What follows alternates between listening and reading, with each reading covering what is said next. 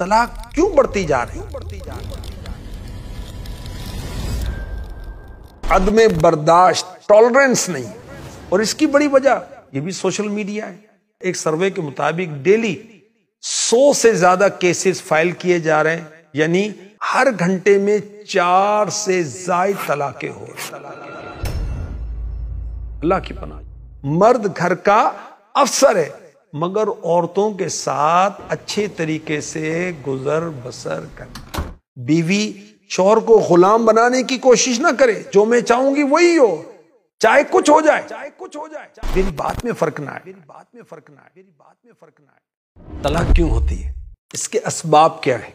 इसकी रोकथाम कैसे की जा सकती है? कुछ इस ताल्लुक से अर्ज़ करता हूँ। पहले मुस्लिम शरीफ की हदीस पाक का खुलासा पेश करता हूँ। शैतान अपना तख्त पानी पर बिछाता है। फिर अपने लश्कर भेजता है। उन लश्करों में शैतान का ज़्यादा कुर्ब वो हासिल करता है जो ज़्यादा फितने बर्पा करता है, ज़्यादा गुनाह कराता है। अब शैतान के जो लश्कर हैं, इनमें से आकर एक कहता है कि मैंने ऐसा ऐसा किया। शैतान कहता है, तूने तो कुछ भी नहीं किया। एक और लश्कर आता है। वो कहता है कि मैंने एक आदमी को उस वक्त तक नहीं छोड़ा जब तक उसके और उसकी बीवी के दरमियान मैंने जुदाई नहीं कर दी सेपरेशन नहीं करवा दी। ये सुनकर शैतान उसे अपने करीब कर लेता, कहता है, तू कितना अच्छा है, और उसे अपने साथ चिमटा लेता है। तलाक, बहुत सारे फसादात की जड़ बन जाती है, और जो नाहक जौजैन में, यानी शौहर बीवी में जुदाई की कोशिश करता है, वो भी शैतान की तरह मुजरिम। मेरे नबी, प्यारे नबी सल्लल्लाहु अलैहि वसल्लम ने फरमाया, अबगदुल तलाक यानी हलाल चीज़ों में खुदा के नज़दीक ज़्यादा नापसंदीदा तलाक है। तलाक की एक बहुत बड़ी वजह सोशल मीडिया, बेरारवी फैल रही है।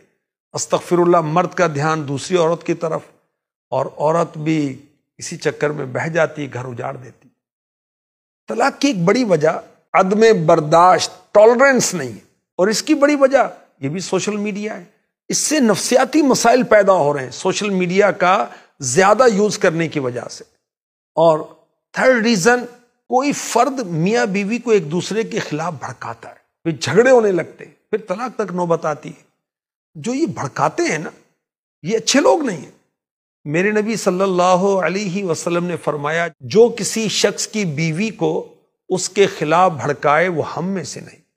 अब वो सास है, ससुर है, दोस्त है, जो भी गलत मुफ्ती अहमद यार खान नईमी रहमत फरमाते हैं, जिसका खुलासा ये है कि खामन बीवी में हस्बैंड और वाइफ में फसाद डालने की सूरतें।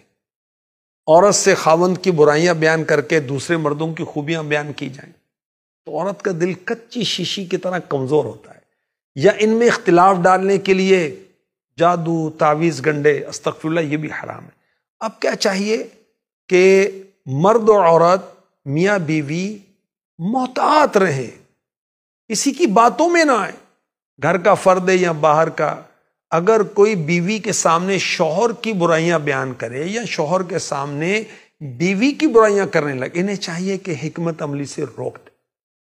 गिबत करना गुना गिबत सुनना भी गुना है। जो लगाई बुझाई करते हैं चुगल खोर हैं, ये तो मोहब्बतों के चोर हैं। इनको अपना हमदर्द ना समझें। और कोई आपको नेगेटिव बात मनफी बात पहुँचाए तो बगैर सबूत के यकीन ना करें और दिल में भी मैल ना लाएँ। अमीर सुनत हमारी तरबियत फरमाते रहते हैं कि मियाँ बीवी आपस में मोहब्बत से रहें, एक दूसरे के राइट्स हुकूक जो है उस पर नज़र रखें, उसको पूरा भी करें। ये भी ना हो कि शोहर जो है वो औरत को अपनी खादिमा समझ ले, अपनी कनीज समझ ले। अल्लाह ताला ने मर्दों को हाकमियत दी है। अर्रिजालु कव्वामून निसा मगर साथ में यह भी इर्शाद हुआ व आशिरु बिल मारूफ और इन औरतों के साथ अच्छे तरीके से गुजर बसर करो। मर्द घर का अफसर है, मगर औरतों के साथ अच्छे तरीके से गुजर बसर करना है।